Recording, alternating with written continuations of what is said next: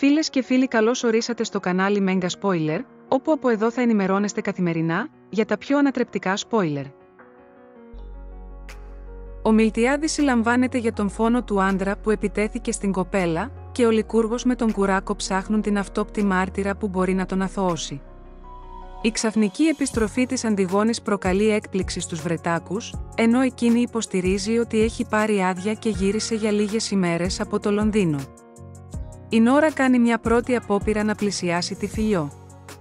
Η Αριάδνη εξομολογείται στον Στάθη πως κάτι έχει ξεκινήσει στη ζωή της. Αλλά δεν του λέει με ποιον.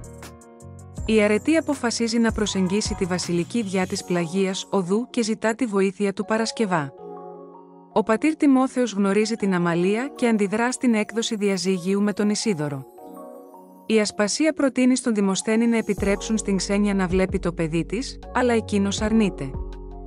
Η Αντιγόνη ανακοινώνει στον Ισίδωρο ότι γύρισε για να πάρει πίσω την κόρη της.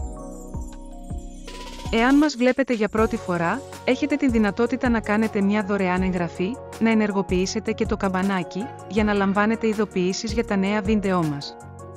Σύντομα κοντά σας.